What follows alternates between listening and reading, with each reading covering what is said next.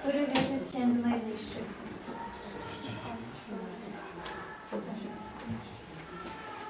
Jest kilka takich wierszy. Jest wiersz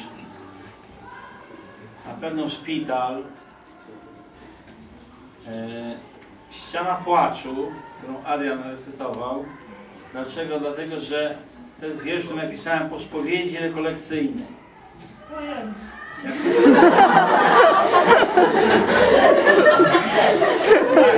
Tak to właśnie wygląda, nie? Może wam się wydaje z tej, ponieważ e, ksiądz to jest istota, która staje dwukrotnie do konfesjonału.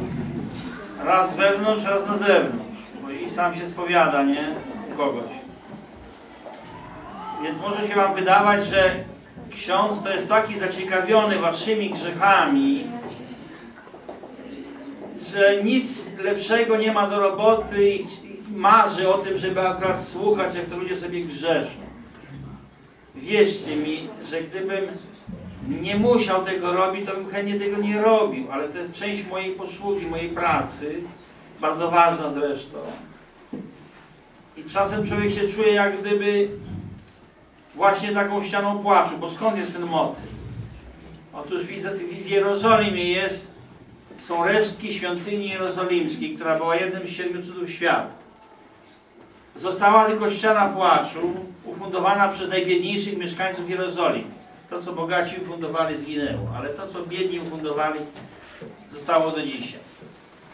I stają przed tą ścianą płaczu i tam zostawiają najgorsze tajemnice swojej historii, swojego życia.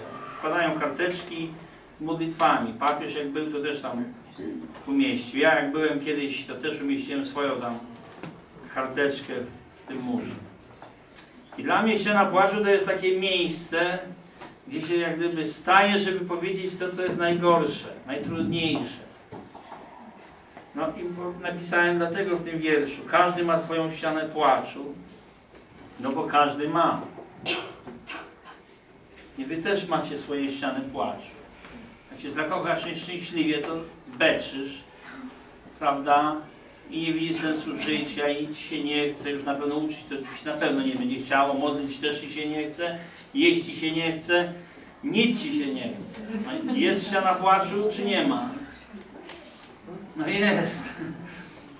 No i teraz jak się dołoży do tego, że historia dodać historię i jeszcze historia, no to to się tak układa, że właśnie mąż po wylewie, zięć zakochany w rozwódce, trzeciak narkoman, nieślubne dziecko, pyskata córka, też krzyż.